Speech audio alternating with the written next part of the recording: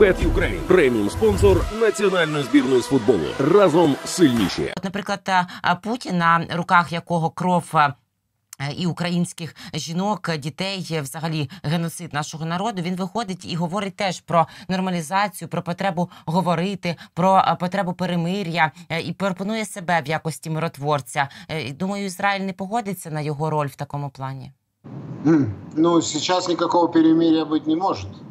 Никакой. Это, это точно так же, как э, в Украине призывают к перемирию. Что такое перемирие? Да, заморозить все так, как есть, оставить все территории Путину и дать ему возможность готовиться к следующей войне. Никакого перемирия не будет.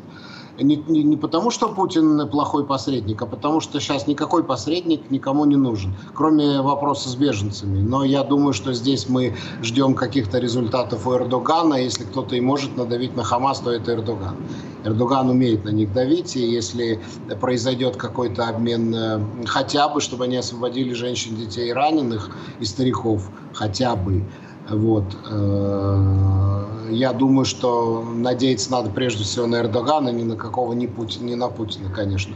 Да, Путин, конечно, ему снова в красивом пальто, он тоже, значит, вот, посмотрите, зверство израильской военщины, а вы типа на нас наезжаете, на Российскую Федерацию, что мы, дескать, э, значит, совершаем военные преступления. Но на самом деле, ну, почерк-то один и тот же, и Владимир Зеленский очень верно сказал, что Израиль имеет дело с террористической организацией, а Украина имеет дело с террористическим государством.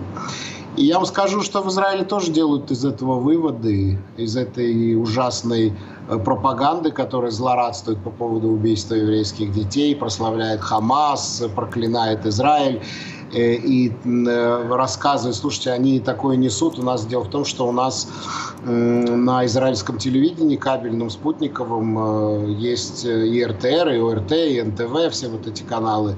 И у нас есть много русскоязычных пенсионеров, которые их смотрят. Ну, потому что э, мало что есть смотреть. Вот есть израильский канал на русском языке, да, они его смотрят, но, э, конечно, они все время переключаются. И на этих каналах идет такая жесть, что Израиль прекращает свое существование, что на Западе уже распределяют квоты, кто сколько евреев будет к себе принимать беженцев, что сионистский проект закончен, великая победа Хамаса, э, те евреи, которые не уедут, могут быть убиты и так далее, так далее. То есть я не знаю, вот просто я в наших эфирах призываю людей, ну, следите, какой контент потребляют ваши родители, потому что, ну, ну это ужас просто какой-то, у людей будет депрессия, не знаю, попытки самоубийства, когда они все это наслушаются, и многие же из них это все еще за чистую монету э, принимают. И, знаете, у нас сейчас впервые, впервые в истории Израиля рассматривается вопрос закрытия телеканала, но нет, пока не российского, речь идет об Аль-Джазире.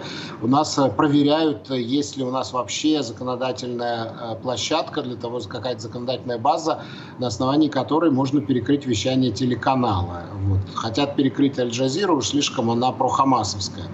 Ну, если закроют Аль-Джазиру, я думаю, что мы поднимем вопрос закрытия российских этих каналов на территории вещания на территории Израиля, и это найдет э, понимание и, в наших, и среди наших властей. И я говорю, что сейчас э, на иврите мы видим публикации очень солидных и авторитетных израильских публицистов, лидеров мнений, э, которые говорят, что поведение российской пропаганды просто совершенно не оставляет никаких сомнений в намерениях России. Россия наш враг, Россия союзник Ирана, и мы, а Украина наш друг, и мы должны э, пересмотреть свою позицию, вот эту нейтральную позицию в отношении э, к России и Украине, и, наконец, стать э, в один ряд со всеми западными странами. Поэтому я уверен, что Э, ну, может быть, даже мы, не дожидаясь конца войны, мы будем уже начинать какие-то изменения. Я абсолютно в этом уверен.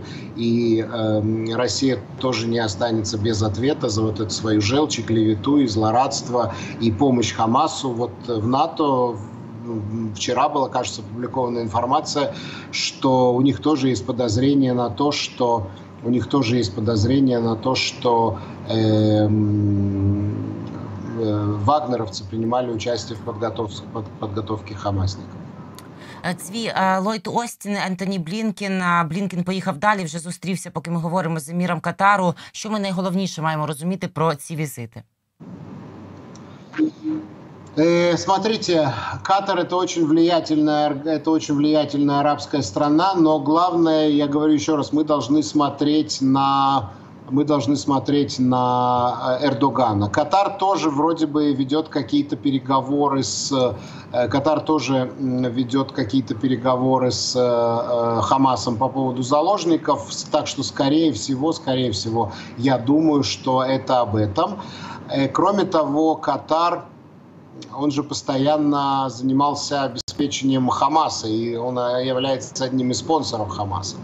Вот. Но нет сомнений, что с Катаром они общаются. Катар вообще такое очень интересное государство. Они, с одной стороны, такие очень эм, э, исламистские, они за Хамас, они за, за, за исламских братьев. С другой стороны, они с американцами дружат. Америка гарантирует их безопасность. У них американская база стоит. Но вот Аль-Джазира, который распространяет совершенно такую оголтелую исламистскую э, пропаганду, и она запрещена и в Саудовской Саудовской Аравии, в Египте и во многих других арабских странах. Поэтому это такая очень-очень... Совсем недавно еще э, все арабские страны соседние просто разорвали с Катаром дипотношения. Вот такая она странная, потом они восстановили. Но у Катара очень много денег, и это их самая большая, самая сильная сторона. Катар – это газ, а газ сейчас в цене на мировых рынках, поэтому, ну да, видимо, видимо тоже о проблеме заложников, о проблеме Хамаса разговаривали с Катаром. Е, Цві, і в нас одна хвилина. Буквально скажіть, будь ласка, якщо почнеться наземна і коли операція, я так думаю, що ем, праві всі ми, що вона не, не точно буде неминуча. Е, якщо інші країни і члени цього рівняння не втрутяться, то чи правильно розумію, що тоді буде йтися про більш стислі рамки завершення цієї війни, і мова буде йтися про дні, тижні, а не про місяці, як ми з вами раніше говорили, що не знати скільки прогнозувати.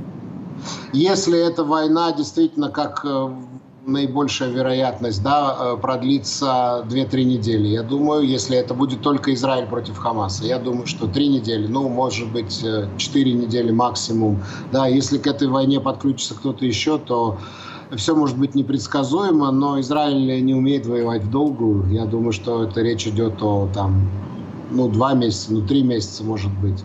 Вот. А если это будет только Хамас, то значительно меньше.